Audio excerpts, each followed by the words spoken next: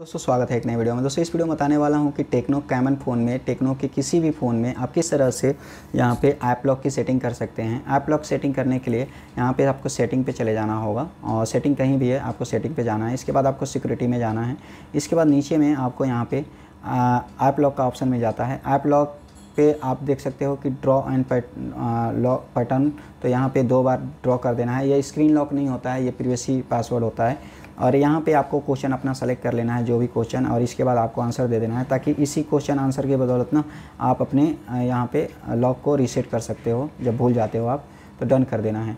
अब डन करके जिस भी एप्लीकेशन को आप लॉक करना चाहते हो ना, उसको आप इस तरह से लॉक कर दोगे, है ना? तो अब देखो, यहाँ पे फ़ाइल मैनेजर को मैंने लॉक कर दिया है तो अब मैं यहाँ पे फ़ाइल मैनेजर को ओपन करके दिखा देता हूँ तो देख सकते हो लॉक लगा हुआ है है ना? तो अब एक चीज़ और अब अब बहुत सारे लोग ये चाहते हैं कि यार ऐप लॉक में ना मैं फिंगरप्रिंट का इस्तेमाल करना चाहता हूँ, इसका इस्तेमाल करना चाहता हूँ। इस सब के लिए आपको यहाँ पे सेटिंग पे जाना होगा। और ये देखो आप ऐप लॉक का जो पैटर्न जो है, उसको आप यहाँ से पैटर्न लाइन को हाइड भी कर सकते हो।